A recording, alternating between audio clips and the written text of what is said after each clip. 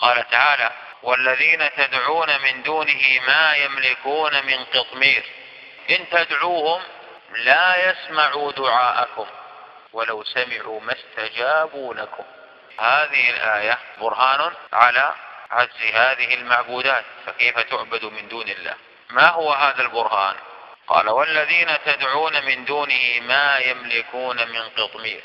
البرهان هو أن هذه الآلهة لا تملك شيئا حتى الشيء اليسير الذي هو القطمير لا تملكه.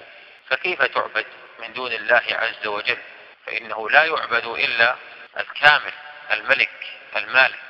قال ما يملكون من قطمير إن تدعوهم لا يسمعوا دعاءكم ولو سمعوا ما استجابوا لكم هذا برهان آخر على أنهم لا يستمعون ولا يسمعون.